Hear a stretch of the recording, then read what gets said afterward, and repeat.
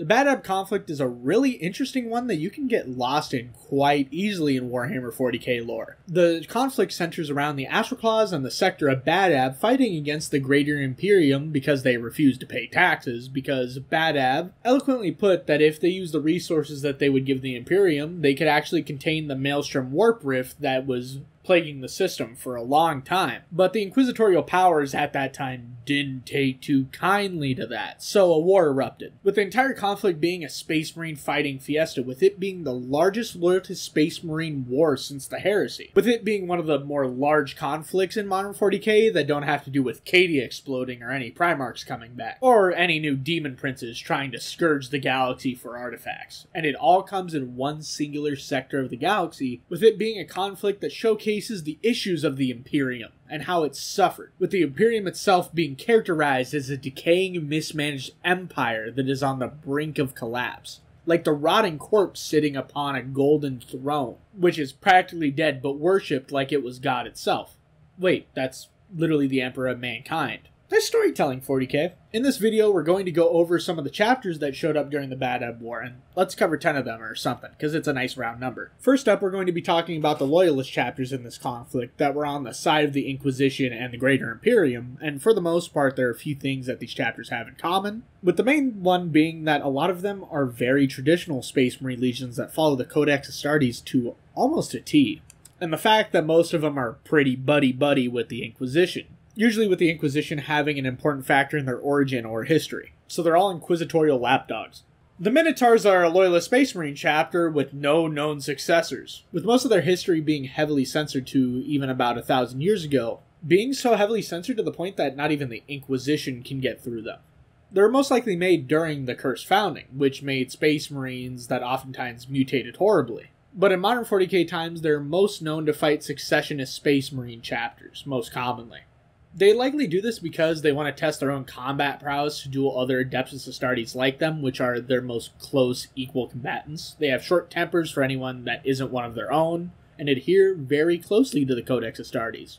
They embody that force that Space Marines once were in the Imperium, with descending on planets as a blunt force to stop an enemy of mankind, with all of them going to fight. They're fashioned around Greek Spartans, with some of them being the most terrifying single combatants in the Imperium, especially their chapter master that may or may not be a custodian. The Red Scorpions are also adherent Codex Astartes followers that are renowned for following it at all times. They're known for fighting against the forces of chaos and other rebelling forces, and they are human supremacists to say the least, only fighting with humans or other space marines and refusing to work on the side of any aliens or abhumans. Like, they don't even like Ogryns. They also strive for genetic and spiritual purity. The Red Scorpions have one of the most pure gene seeds out of all space marine chapters out there. Usually, their apothecaries are the leaders of squads sergeants, making it so gene seed can be recovered very quickly. Their color scheme is black with yellow trim and red, and a logo of a red scorpion. The red scorpions are all about being supremacists and completely eradicate things they don't like. So if you couldn't tell, these guys are basically not. The Exorcists were made to be hard counters towards demonic possession and chaos corruption. To make sure they were actually built to fight off demons as part of an initiation ritual, they get possessed by a demon, becoming a demon host for a short time. They then have the demon ripped out of their body, and everything's alright. But the Inquisition and the Exorcists are intrinsically linked, with their origins also being highly classified. Except for all the demon stuff and one other thing, they are incredibly Codex Astartes compliant, and that thing is is that they have a bit more space marines than usual, having two more companies.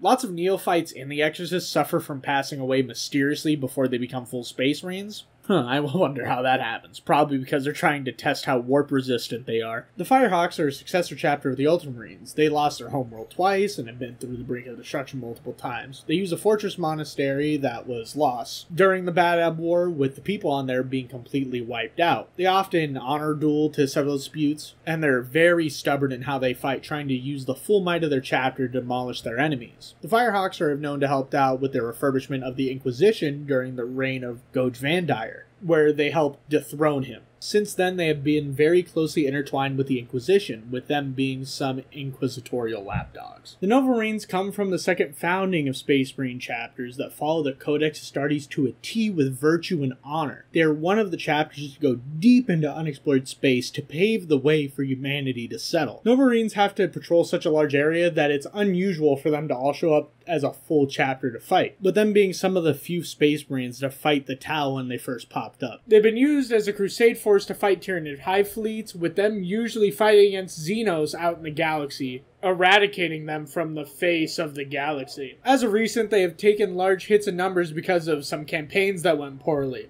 But their time in the Badab campaign is a small footnote in their giant history. The other side of the war was the secessionists. Something that unites most of these members of this group are that all of them have a deep connection to the Badab sector, as well as having some sort of debt to the commanding chapter of the secessionists, the Astral Claws. With Chaos only peeping its ugly little head out at the end of this conflict. The Astral Claws, now called the Red Corsairs, were made as a chapter to deal with the Maelstrom zone that protected it for centuries until they rebelled and attempted to succeed from the Imperium as a whole, with them being the reason why the Badab War happened, with the large bulk of their lore being based around the Bad Badab War. With the meat and potatoes of where they are in current lore happening with what happened after the Bad Badab, where the Astral Claws all went insane and began to do some very chaosy stuff, where they started executing salamanders and messing with Genesi like Chaos Worshippers would. Needless to say, they are Chaos Worshippers now and attack the Imperium through the Maelstrom Warp Rift every once in a while. The Mantis Warriors are a White Scar successor chapter that was made to look after the Maelstrom sector while being very closely intertwined with the Badab sector, with again most of their lore being around the Badab War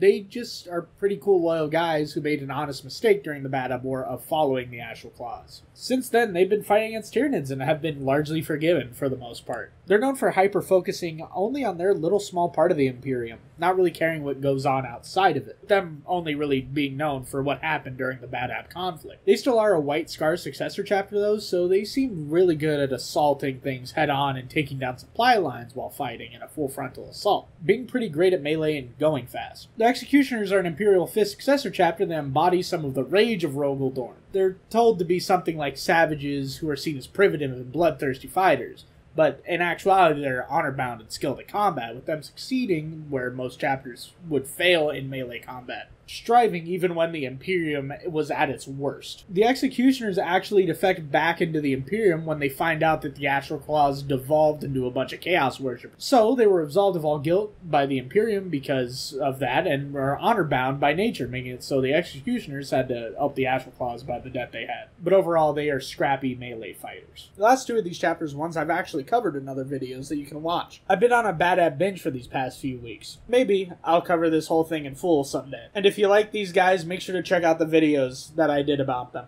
The Lamenters are the Space Marine versions of humanitarians that are rewarded for their heroism with only punishment and death.